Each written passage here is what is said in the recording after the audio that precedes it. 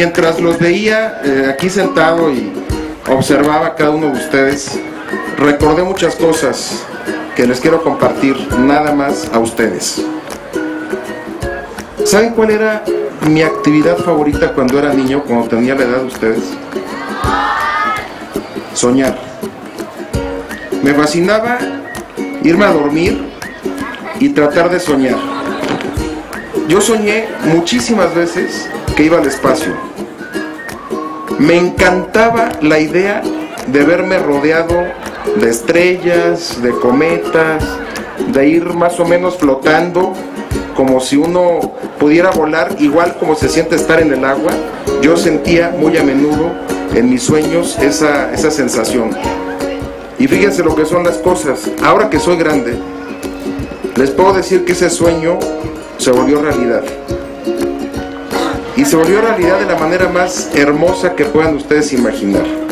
Si me están preguntando si ya fui al espacio, les podría decir que no. Pero les puedo decir que el destino me llevó a estar rodeado de estrellas. Y esas estrellas, yo no sabía de niño que iban a ser las estrellas de la policía.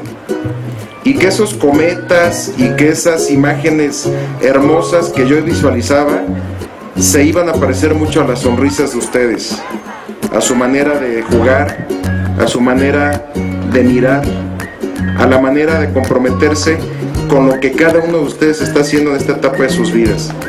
Sé que están rodeados de gente que les ama, que los quiere, de instituciones que les están ayudando a que cada noche puedan ustedes ir a construir un sueño y por qué no verlo hecho realidad y regresar después un día a contarle a niños como ustedes que algún día tuvieron un sueño.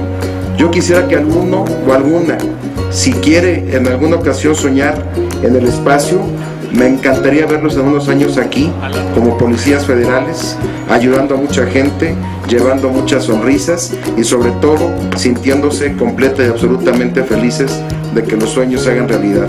Eso es lo que yo les deseo a ustedes, niños y niñas, que no pierdan esa bonita circunstancia de poder soñar, de que vayan construyendo su sueño de la mejor manera. Si tienen que inventarle un poco, invéntenle, ahí sí se vale. Ahí sí se vale. Hagan el sueño más hermoso que quieran ustedes construir. ¡Nos escucha!